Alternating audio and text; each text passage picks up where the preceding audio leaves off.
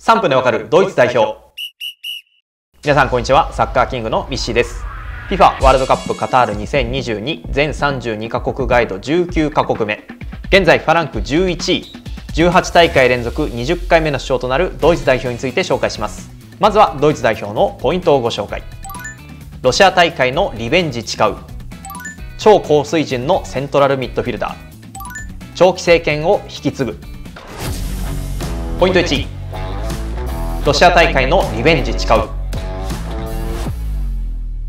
まずはキョン夫人からチェックしていきましょう。キョン夫人は4231となっております。バイエルンを中心としたブンデスリーガの強豪クラブでプレーする選手たちが多数揃います。ヨーロッパ予選では9勝0分け1敗の勝ち点27で J 組を1位で通過。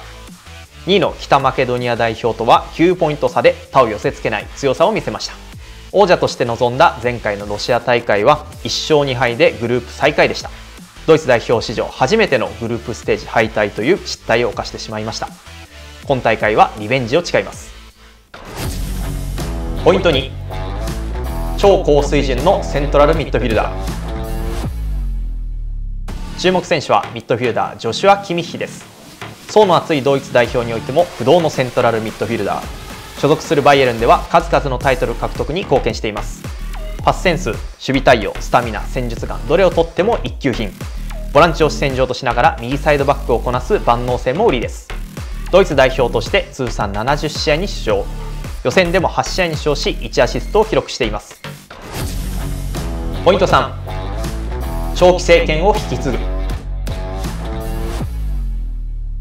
ドイツ代表を率いるのはハンジ・フリック監督です。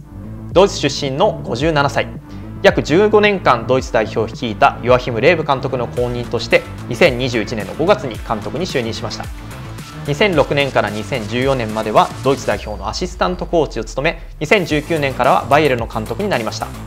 就任初年度でブンデスリーガ制覇やチャンピオンズリーグ優勝を含む6冠を達成。今度はドイツ代表を率いてタイトル獲得に挑みます。ドイツ代表はグループ E に入りました。初戦は日本代表第2戦はスペイン代表第3戦はコスタリカ代表と対戦します。ドイツ代表の最高成績は優勝です。カタール大会では一体どうなるのでしょうか。3分でわかるドイツ代表最後までご視聴ありがとうございました。次回は日本代表について紹介しますのでぜひご覧ください。それではまた次回の動画でお会いしましょう。さよなら。